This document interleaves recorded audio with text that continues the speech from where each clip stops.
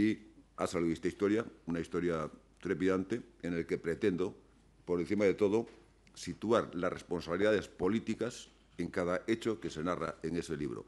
Porque hasta ahora los políticos responsables del gobierno de Felipe González siempre se han querido apartar, blanquear su imagen y dejar siempre el límite de la responsabilidad de lo local al funcionarios de los, cuerpos de, seguridad que participaron, siguiendo instrucciones de ellos, en, este nivel. ¿no? Ellos nunca han querido asumirlo ni dar la cara. Pero bueno, eh, yo creo que doy muchas claves en las que se puede sacar conclusiones claras y exactas de esas responsabilidades que están situadas y limitadas a hechos muy concretos.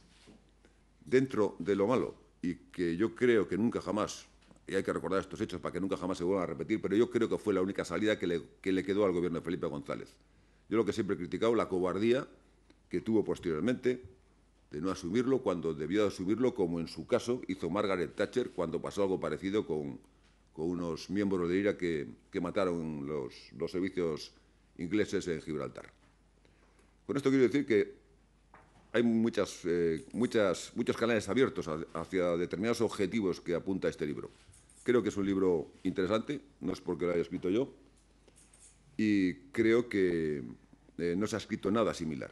Penetro de lleno en las situaciones que han sucedido, eh, puntualizo mucho las responsabilidades de unos y de otros, y creo que es un libro que, que aunque no sea la historia definitiva, creo que le falta muy poco a la historia definitiva.